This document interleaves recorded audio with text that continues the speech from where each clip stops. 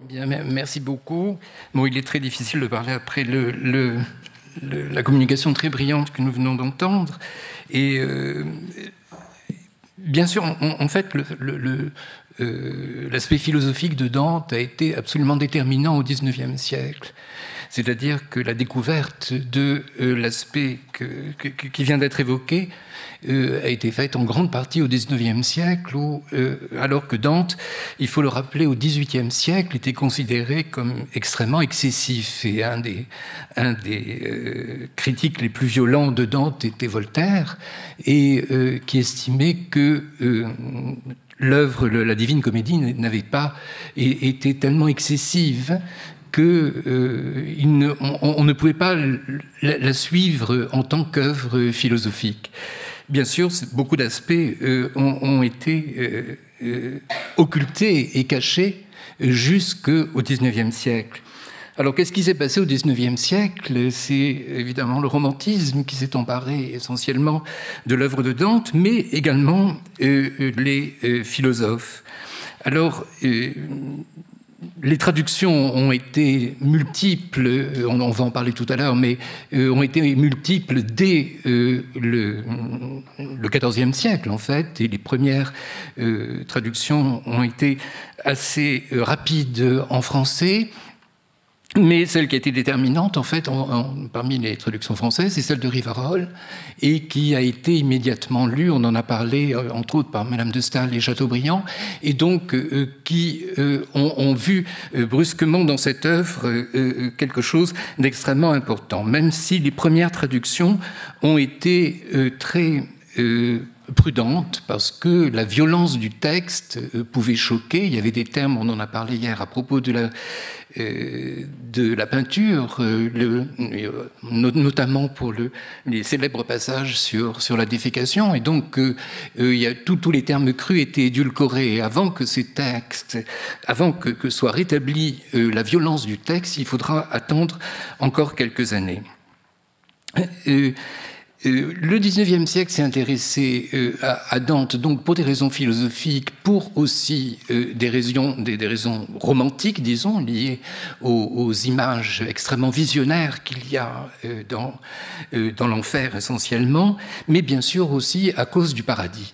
Parce que même si on sait que le mot divine a été ajouté par Boccace, c'est la comédie, normalement, était simplement la comédie, simple, il n'y avait pas la divine qui était ajoutée, et, euh, mais euh, le 19e siècle va s'accrocher à cette divine. Et, l'autre, euh, l'autre raison, c'est la fin du paradis, qui, comme vous le savez, est une prière à la Vierge, qui est prononcée par Saint Bernard.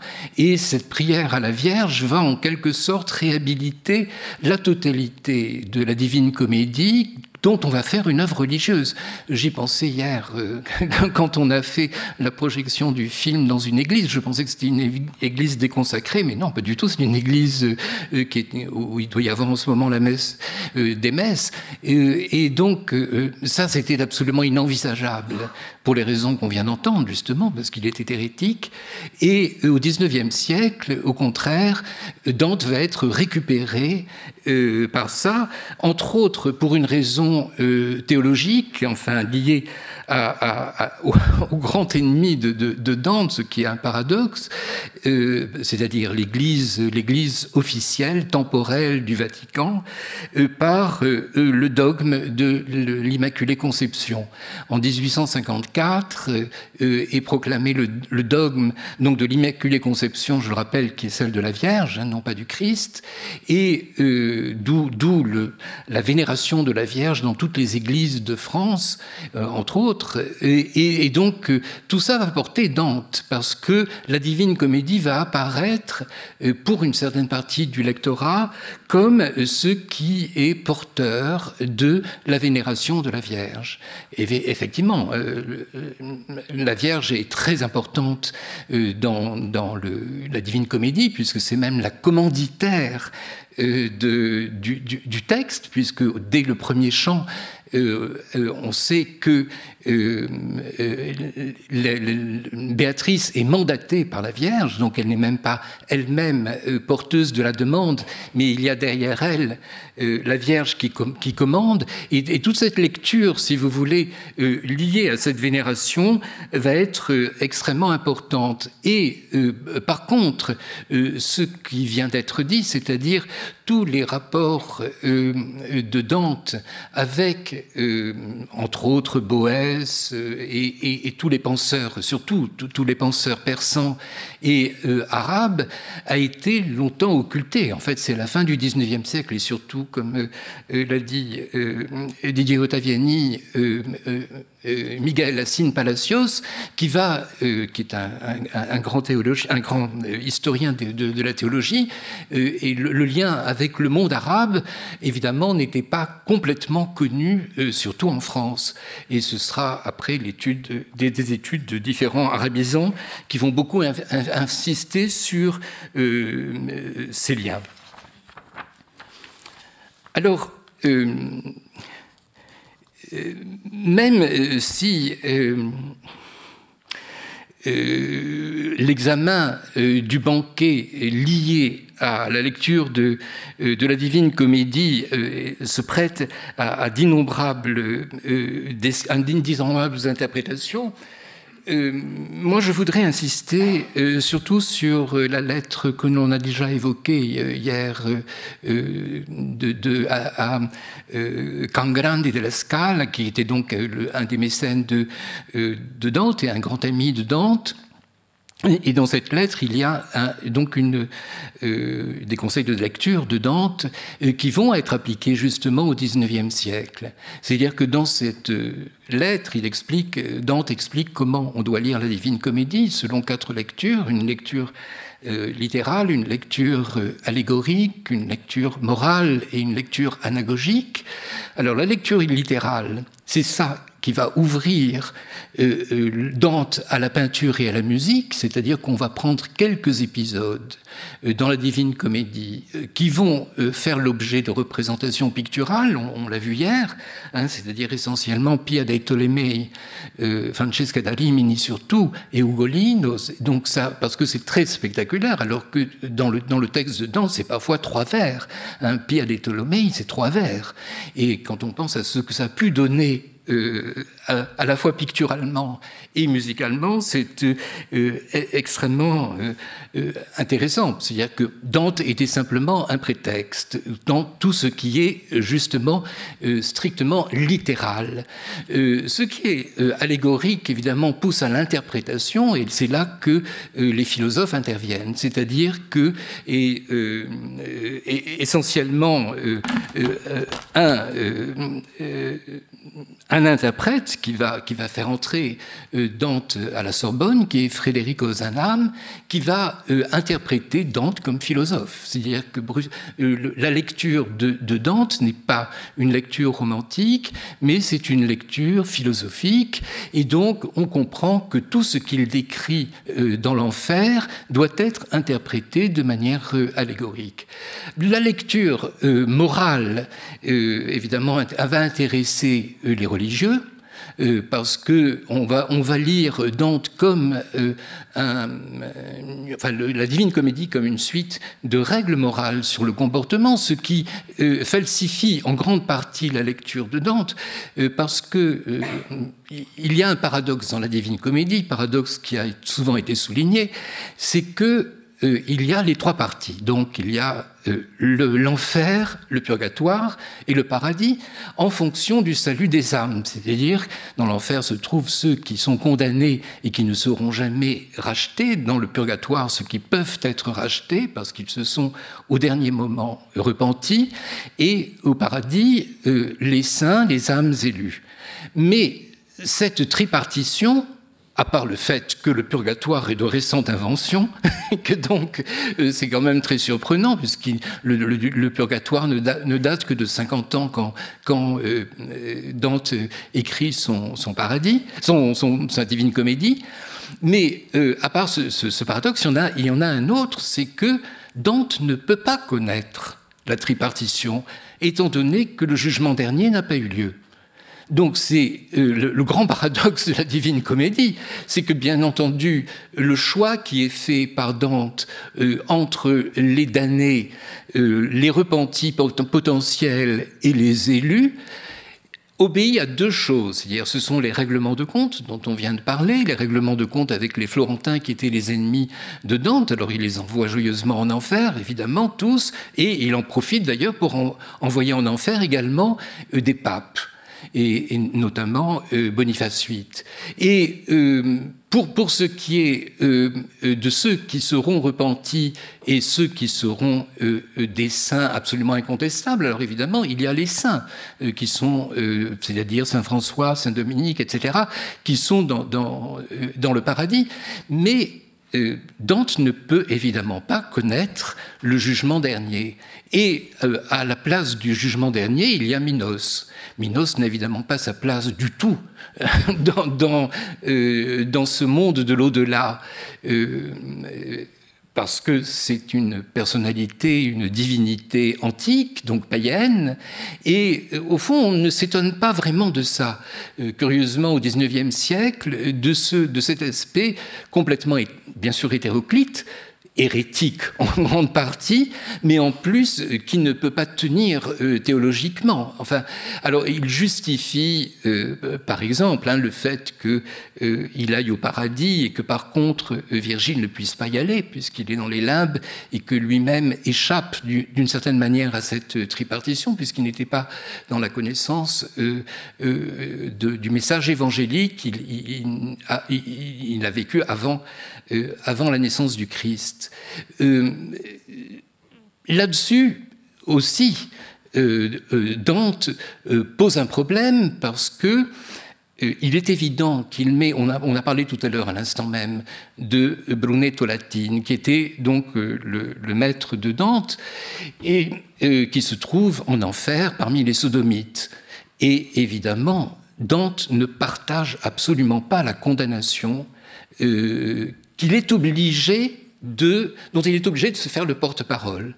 Et il est dans une situation ambiguë parce que, euh, au fond, il ne partage pas la condamnation qui a été faite. C'est un des plus beaux chants, hein, on le lira peut-être tout à l'heure, un des plus beaux chants de, Dante, où il est extrêmement mal à l'aise, parce qu'il se trouve dans, euh, euh, à mi-chemin, c'est le cas de le dire, à mi-chemin entre une, un, jugement moral, je vous parle toujours de l'interprétation morale ici, un jugement moral qui est fait sur certains comportements et, en même temps, il ne peut pas complètement se mettre contre ce jugement moral, mais on voit qu'il ne le partage pas.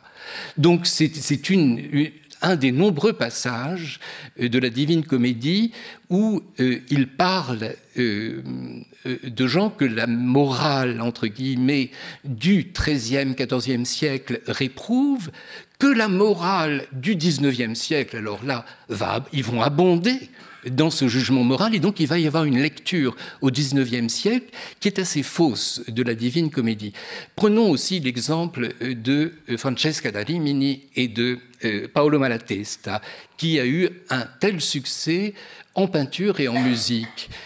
Euh, là aussi, c'est un paradoxe extraordinaire, parce que d'une part, il faut, euh, dire une chose, c'est que Dante, comme vous le savez, l'enfer est progressif. Hein, ça va euh, de ceux qui ont commis des fautes plus ou moins euh, euh, à réprouver plus ou moins jusqu'aux fautes les plus graves et la trahison étant la faute la plus grave pour ou, disons, disons les semeurs de discorde et la plus grave aux yeux de Dante.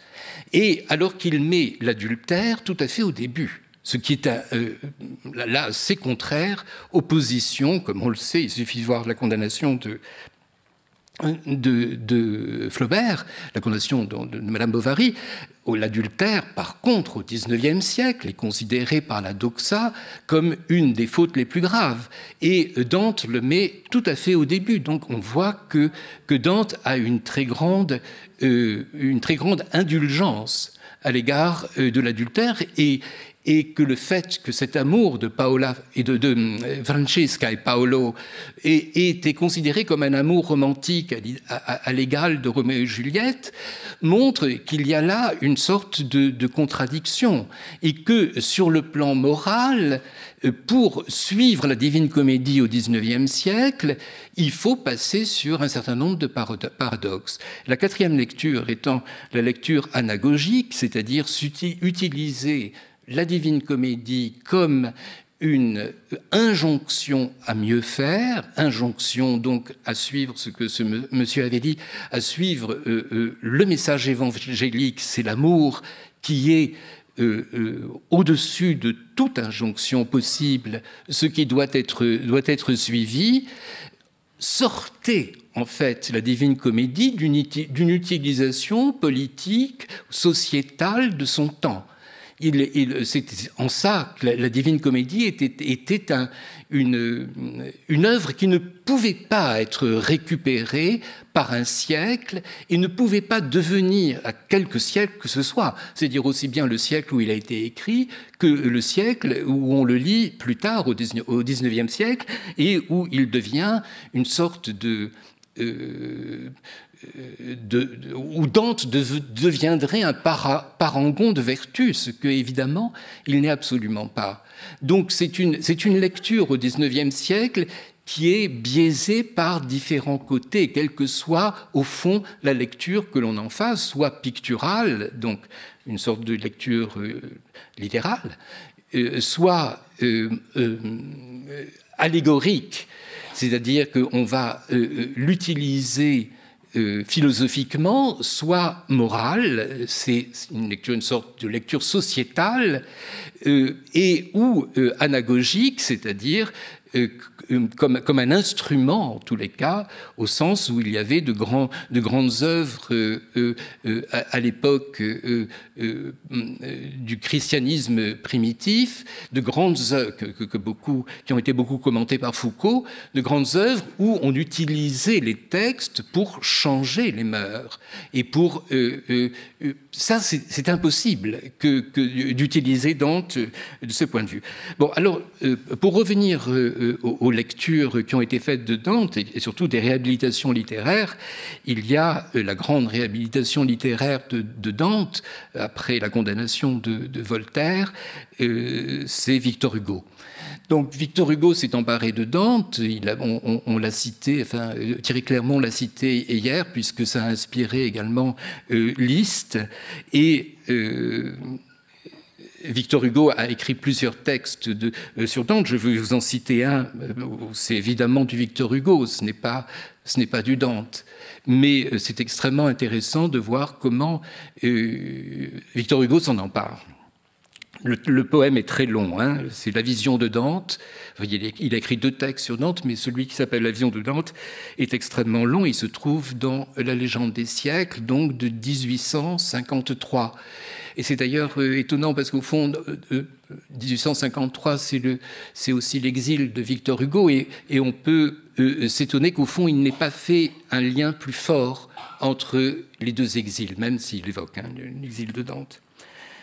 Je dormais sous la pierre où l'homme refroidi, je sentais pénétrer, abattu comme l'arbre, l'oubli dans ma pensée et dans mes os le marbre. Tout en dormant, je crus entendre à mon côté une voix qui parlait dans une obscurité et qui disait des mots étranges et funèbres. Je m'écriai, qui donc est là dans les ténèbres? Et j'ajoutai, frottant mes yeux noirs et pesants, combien ai-je dormi?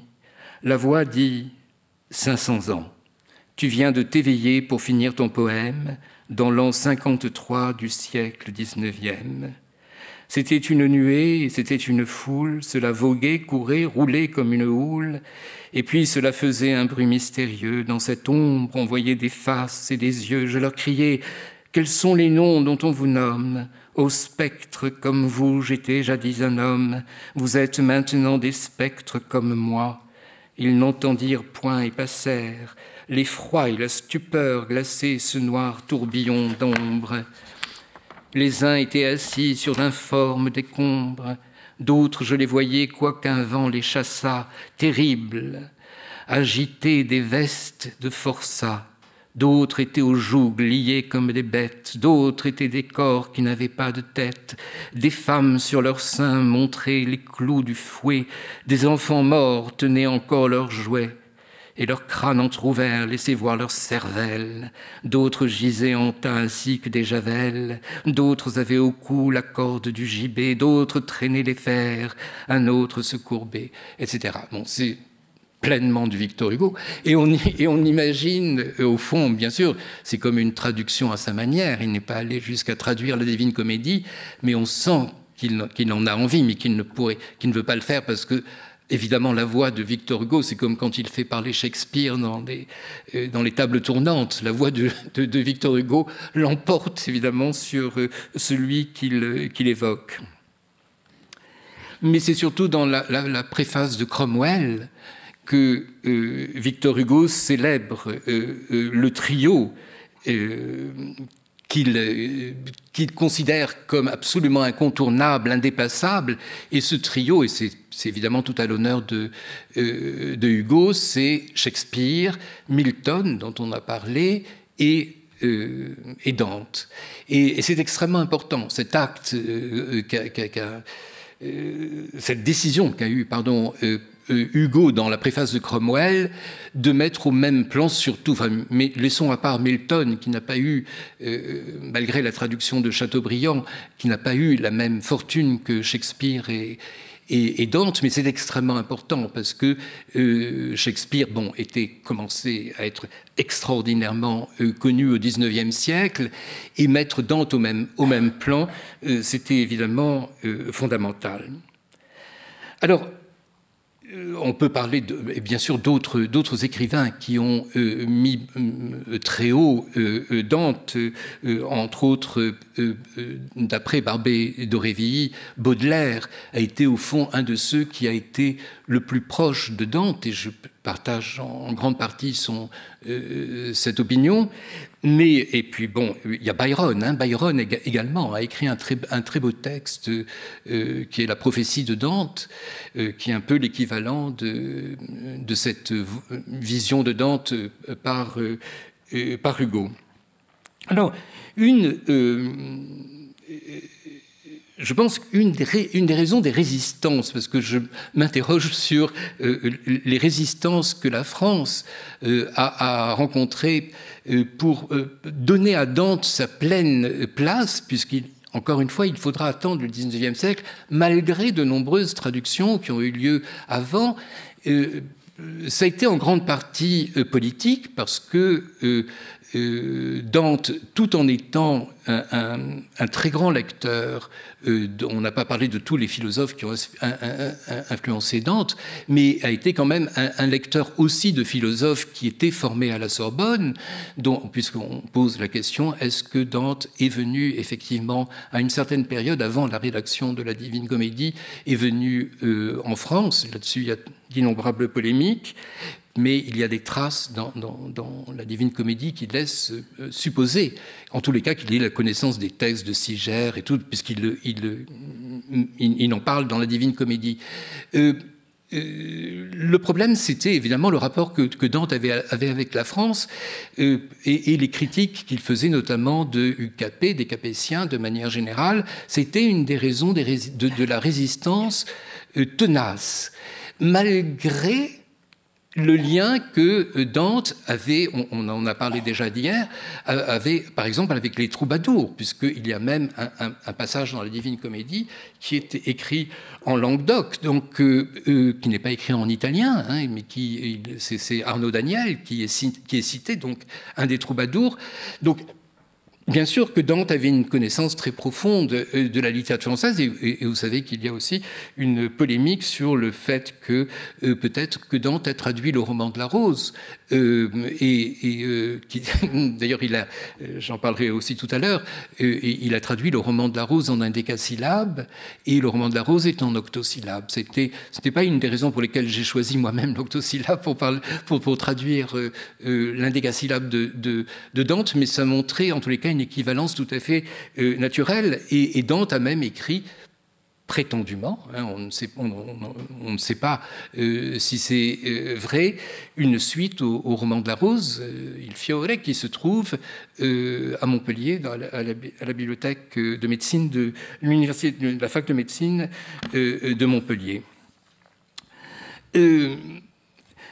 voilà, donc, ça c'était au fond des, raisons fondamentale, je pense, enfin fondamentale peut-être pas, mais en tous les cas euh, latente plutôt, latente de la résistance euh, de euh, l'université française, en tous les cas, à intégrer l'œuvre de Dante parmi les grands, les grands philosophes. Moi, moi je, je, déplore beaucoup, bon, on a parlé du banquet par exemple, je déplore beaucoup que les, les, études philosophiques ne, n'intègre pas l'œuvre de Dante de manière naturelle, pas uniquement les, spécialistes du Moyen Âge, de la philosophie médiévale, mais même, euh, euh, de manière générale, ceux qui euh, enseignent la pensée antique, parce que même si Dante, on, vient de parler du grec, même si Dante ne lisait pas le grec, il y a dans le banquet un commentaire absolument extraordinaire de l'éthique à Nicomaque, et euh, qu'il avait donc lu en, traduction latine et qui lui était parvenu à travers la pensée andalouse.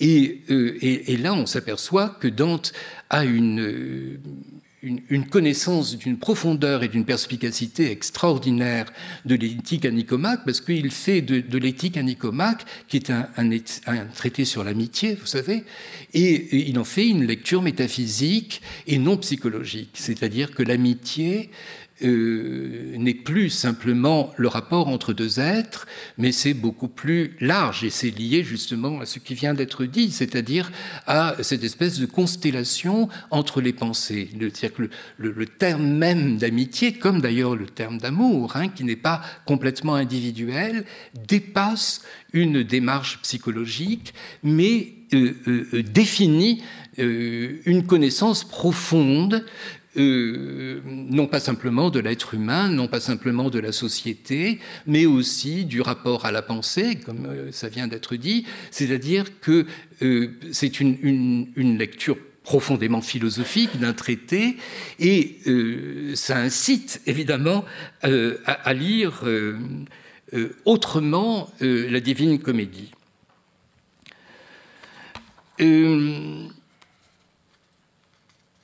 Je, rappelle aussi, excusez-moi parce que je suis un peu en désordre, mais je rappelle aussi dans, l'histoire du, rapport de la France avec euh, la Divine Comédie que euh, le, rapport de la France à, Dante a, été quand même très très violent. Et, euh, et la France a souvent suivi euh, la position de l'Église à l'égard de Dante, je rappelle que euh, c'est un cardinal français, euh, Bertrand du Pouget, qui était le légat du pape Jean XXII, qui a ordonné l'autodafé du démonarchia dont on vient de parler, et, qui, a, et qui, a, même demandé la dispersion des, des cendres de Dante à Ravenne. Donc, on, ne peut pas, si vous voulez, penser le 19e siècle, le rapport du 19e siècle français hein, surtout, euh, sans se souvenir de tous ces aléas que euh, l'œuvre de Dante euh, a rencontré, même si on sait que Christine de Pisan a commencé à traduire la Divine Comédie, l'a fait connaître. Donc, bien sûr qu'il y a eu beaucoup d'intellectuels, notamment à Lyon, qui se sont intéressés à la Divine Comédie et qui ont essayé de la faire connaître très rapidement hein, après la mort de Dante. Mais il y a eu euh, une résistance euh, euh, extraordinairement forte. Et les, traductions du, 18, du XVIIIe siècle qui ont résisté à la condamnation ne sont pas très nombreuses et elles ont quand même fait l'objet de, de lecture. Mais la traduction, je suis obligé de parler des traductions pour, pour voir un peu quel est le, soubassement, la traduction qui a été assez déterminante pour le rapport des romantiques, aussi bien euh, en France que euh, dans le reste du monde, en fait, parce que beaucoup lisaient le français. C'est la, traduction d'Alexis François Artaud de Montor, qui était un diplomate français en, poste en Italie et qui, en 1811, a traduit, euh, la Divine Comédie, et, cette traduction a été énormément lue, et ce qui a permis évidemment une très forte expansion. Et euh, les, traductions vont se multiplier, pas uniquement en France, mais notamment aux États-Unis, enfin en Angleterre bien sûr, mais aussi aux États-Unis. Et ce qui fait que quelqu'un, par exemple, comme Emerson, euh, va euh, faire un très long essai sur la Vita Nuova et va commenter l'enfer, la traduction anglaise de l'enfer. Donc ça devient maintenant une sorte de, de, prise de possession de tout le 19e siècle à travers le monde. Et je viens d'apprendre récemment que Rabindranath Tagore, bon, poète euh, indien, mais qui a commencé au XIXe siècle, euh, a lu ces traductions et a fait un essai euh, sur Dante et Pétrarque, donc dans sa langue bien sûr, et, ce qui montre que la fin du XIXe siècle s'empare de manière extraordinairement passionnée de l'œuvre de Dante. Bien entendu, il y avait une autre raison euh, politique. Euh, euh, Didier Ottaviani vient d'en parler, mais le fait que Dante ait, représenté en Italie une sorte de, prophète de l'unité italienne a été très important pour tous les pays qui cherchaient leur unité. Donc, entre autres, les États-Unis et l'Inde, et, qui se sentaient sous un joug. Et donc Dante va aussi jouer ce rôle politique de prophète de, même si ce terme est complètement euh, anachronique et, un peu opportuniste, de la décolonisation. Hein. C'est-à-dire qu'à partir du moment où un pays se trouvait euh, avait du mal à reconstituer son identité nationale et était écrasé par un autre pays, bon, c'était le cas des États-Unis et c'était le cas de l'Inde, ils vont s'emparer de, de, euh, de l'œuvre de Dante qui euh, va, encore une fois, de manière assez euh, biaisée, hein, apparaître comme un, avant tout un, homme de l'unité nationale. C'est euh, en Italie, au enfin dans, ces années, au début, dans le premier tiers, euh, du 19e siècle, Léopardi, par exemple, va jouer euh, ce rôle parce que Léopardi va faire un poème célèbre sur Dante et sur la statue de Dante, et donc qui va, qui, va utiliser Dante comme poète de l'unité nationale. Là, à ce moment-là, c'était sous le joug de Napoléon. Donc, oui.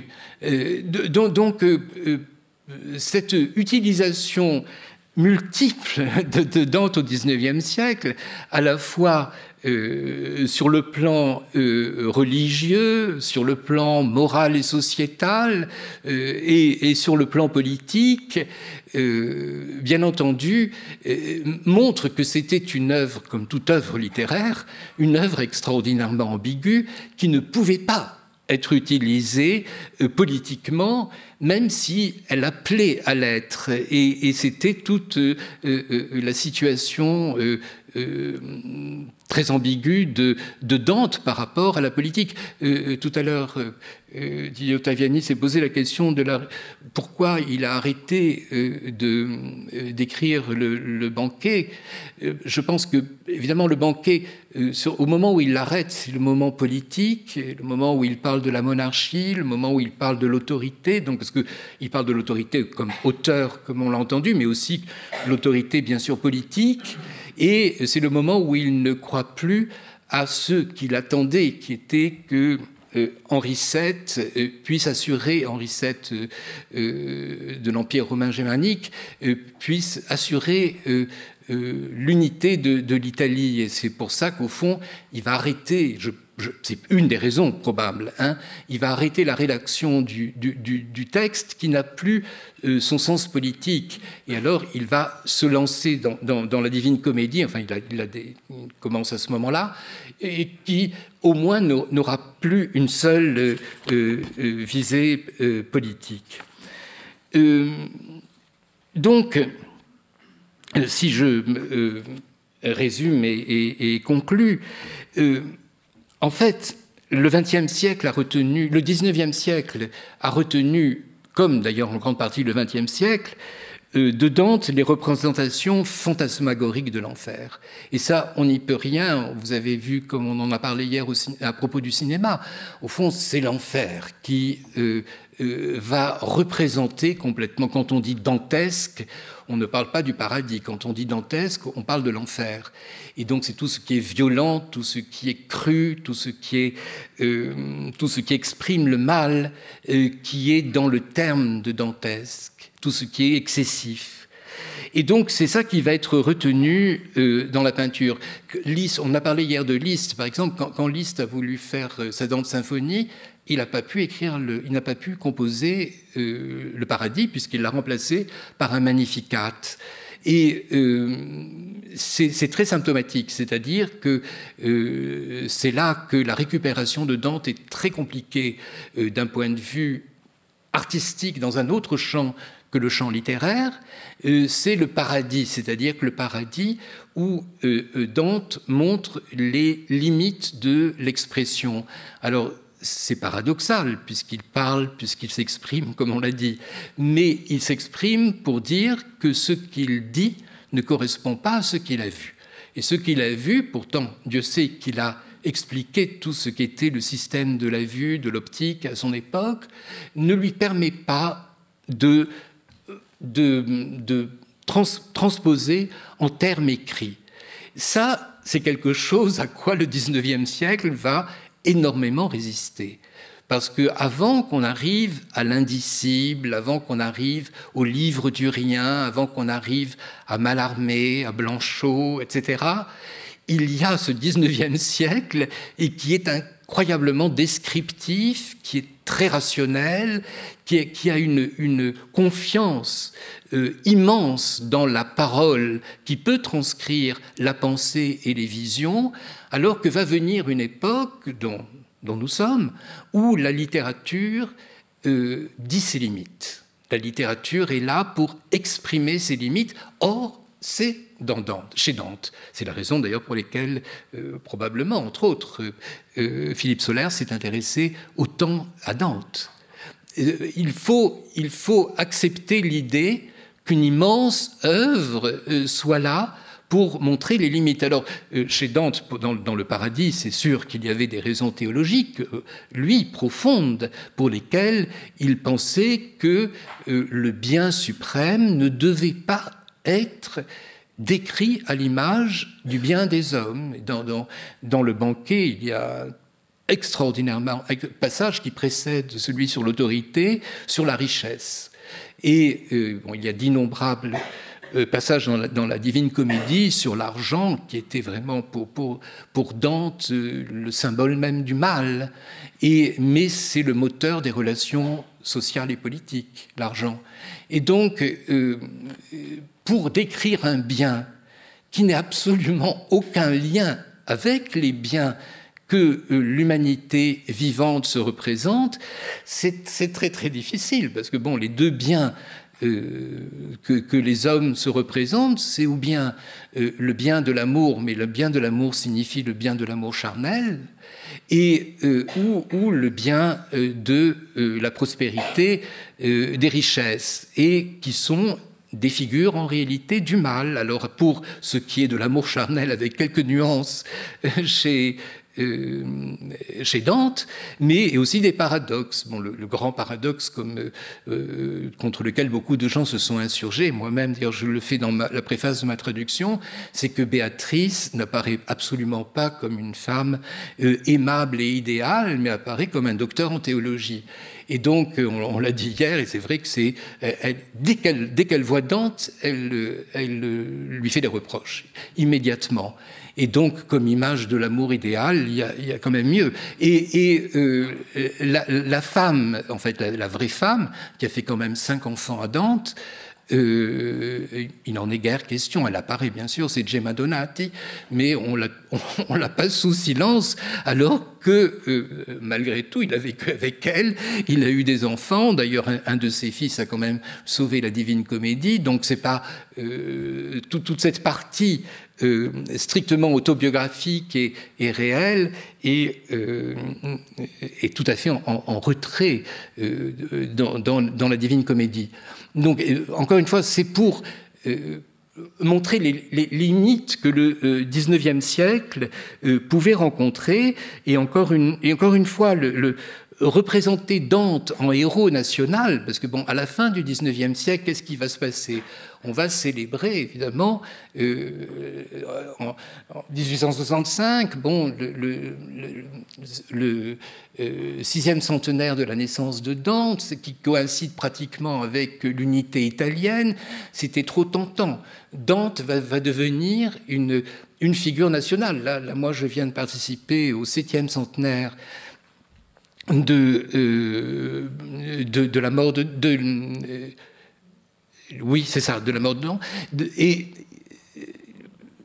euh, j'étais extrêmement gêné parce que euh, on a constitué un comité en Italie de la célébration euh, de Dante comme héros national. et c'est très gênant. parce que Dante n'est pas un héros national, on l'a suffisamment montré, puisqu'il a fini par se retirer même euh, des guelfes blancs. Donc euh, il y, a quelque chose euh, qui fait que Dante est évidemment profondément écrivain et ne, peut, être, bien sûr, une source d'inspiration immense, à la fois pour des chercheurs, pour des théologiens, pour des, pour des peintres, etc., et pour des, et pour des écrivains, mais ne, saurait en, aucun cas trouver, offrir, disons, une clé. Euh, c'est quelque chose qui, euh, qui échappe, à, mon avis, à, toute grande œuvre littéraire. Alors, un dernier mot, bon, le 19e siècle, et, on ne pense pas toujours à lui, euh, le plus grand hommage que le 19e siècle ait fait à Dante, c'est bien sûr Balzac qui l'a fait, parce que la comédie humaine, comédie humaine est une réponse à la, divine comédie. Mais, mais euh, d'un point de vue euh, strictement, euh, disons qu'il a retenu, d'un point de vue strictement social, il a retenu la description selon le même système hein, que, que, je disais hier de Proust, mais bien sûr, avant Proust, il y a Balzac. Il, décrit la génération immédiatement, qui, le précède immédiatement. Dans la, comédie humaine, les, les, personnages appartiennent à, 20 ans, 30 ans avant le moment où, Balzac écrit, ce qui est le système de Dante. Dante a joué ajouté autre chose parce que lui se projetait, se projetait en plus dans, l'avenir et il y a un côté prophétique. Mais, mais euh, voilà.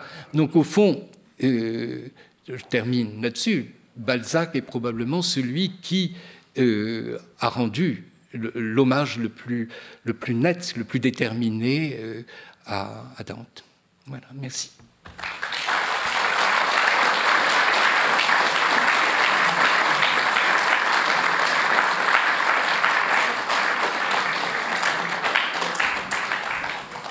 Merci beaucoup, René, pour euh, cette intervention passionnante. Peut-être que demain, avec Oliver et, Mathias, on reviendra sur ce texte euh, très particulier de Balzac où justement il met en scène Dante lui-même qui s'appelle Les Proscrits, qui est une nouvelle relativement brève mais euh, passionnante et, étonnante aussi. Euh, mais j'y pensais là en écoutant ta conclusion. Je voudrais avoir peut-être ton sentiment sur cette remarque. dans Les Proscrits, Balzac raconte que Dante est à Paris, va euh, assister au, séminaire, on dirait, en Sorbonne de, euh, de, Sigier de Brabant, figure qui est euh, présente dans la Divine Comédie. Et Balzac attribue à Sigier des thèses qui sont en réalité euh, sorte d'interprétation de Swedenborg, donc le maître de Balzac, le maître philosophique de Balzac. Et par conséquent, on peut vraiment penser qu'il y a un système d'identification entre Balzac à l'égard de son propre maître et euh, Dante euh, à l'égard du sien. Alors, je n'avais pas forcément, je me l'étais pas formulé aussi clairement avant de, de t'entendre, mais c'est vrai qu'il y a en plus une identification entre Balzac et Dante. Mmh. Oui, donc ce sont le, titre de, la comédie humaine le dit déjà. Hein. Donc c'est évident. Et puis bon, encore une fois, les, les, écrivains qui ont eu euh, comme objet, comme ambition de décrire euh, leur temps, euh, de décrire les générations qui précèdent et d'inventer une langue nouvelle pour la décrire, comme l'a dit Didier, ne sont pas très nombreux. Et donc il y, a, il Dante, il y a Balzac, il y a Proust. J'insiste beaucoup sur le, lien entre Marcel Proust et, Dante comme, projet métaphysique et littéraire, politique, métaphysique et littéraire. Et euh, donc je, pense que ce sont euh, des écrivains qui, et Joyce bien sûr, hein, euh, Ulysse, ce sont des écrivains qui ont compris qu'il fallait inventer une langue. C'est pour ça que euh, la décision, par exemple, euh, dont on a parlé à l'instant, de d'écrire euh, la divine comédie sous cette forme nécessairement obscure, que, dont l'obscurité était augmentée par les choix de Dante, les choix de la, la tête Salim, et, la concision incroyable et son besoin de néologisme aussi, explique que Dante est très bien compris que pour décrire le monde, il fallait inventer une langue. Euh, et, chacun l'a fait, à sa manière. Je, rapproche souvent Pasolini de Dante aussi, hein, mais Pasolini, c'est parce que euh, Pasolini pensait que un poète était nécessairement un poète civil.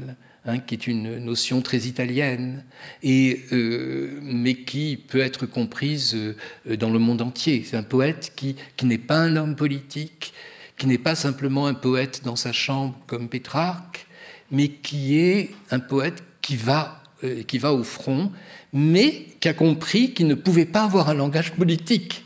Parce que s'il a un langage politique, il va affadir et il va enlever l'ambiguïté propre à la littérature. Hein, parce que la littérature a un, langage ambigu. malheureusement, les, politiques, non, les politiques sont ou, des, menteurs ou sincères, mais ils, n'ont pas le langage ambigu. Ils sont ou cyniques, ou, euh, mais ils, ont besoin d'être compris directement euh, par le quitte à, les à manipuler bien sûr le peuple, mais ils ont besoin d'être compris. Alors qu'au contraire, le poète, ne pas être compris n'est pas un défaut. c'est ça, c'est ça, ne pas être compris par tout le monde, bien entendu. Hein, ce n'est pas un défaut. Oui, non, ce que tu dis là est vraiment euh, essentiel et fondamental. C'est vrai que quelque part, on peut penser d'ailleurs que le, le, fait qu'un message soit flottant en termes de signification pour un politique, c'est quasiment une faute de langage. C'est une faute. Il doit être compris. Mm. Et alors qu'évidemment, pour ce qui s'agit de, de, la littérature et de la poésie, il en est bien autrement. Euh, peut-être une question. Euh, je ne sais, non. Bon, alors, c'est trop tard. On, va faire vite. Monsieur de Secati, j'aurais une question, notamment concernant le, 19e bah, siècle et plus particulièrement les romantiques, sur la question du, choix d'un jeu, d'une première personne incarnée puisque finalement on associe Dante avec ce personnage qui dit jeu qui s'appelle Dante. Je pense que ça a pu aussi retenir l'attention des romantiques, et puis non seulement un jeu incarné, mais qui éprouve des émotions, des sentiments, des dégoûts, enfin qui, je veux dire, c'est ce qui reste aussi quand on lit Dante, c'est ce personnage euh, qui va jusqu'au paradis, comme vous l'avez dit, où a priori il n'a pas forcément sa place. Voilà, merci. Oui, mais, là, aussi, là aussi, il y a un paradoxe et une ambiguïté sur l'autobiographie euh, chez Dante. Mais vous avez raison, je veux dire que Dante est émouvant parce que il est là, c'est lui qui fait le, voyage avec, avec Virgile et parce qu'il a écrit la Vita Nova. Mais quand on lit, on a commencé à le commenter, quand on lit le début de la Vita Nova, on s'aperçoit que le, rapport au jeu est beaucoup plus ambigu. Vous savez que, que le mot Dante, le nom de Dante, n'apparaît qu'une seule fois dans la Divine Comédie. Donc son identité, euh, disons, sociale n'est pas mise complètement euh, au, premier plan. Et, si vous lisez le banquet, vous verrez que le début du banquet, que je trouve absolument extraordinaire, en plus du, euh, du, Panis Angelicus, de, l'image qui est expliquée, c'est le droit de l'auteur, et c'est une réflexion de Dante sur le droit de l'auteur à parler en son nom propre. Qu'est-ce que le jeu il, pose vraiment cette question. Hein. Il, la pose à la fin sur l'autorité, mais aussi au début. Il dit qu'est-ce que c'est ce jeu qui s'exprime? Est-ce que j'ai le droit de parler de moi?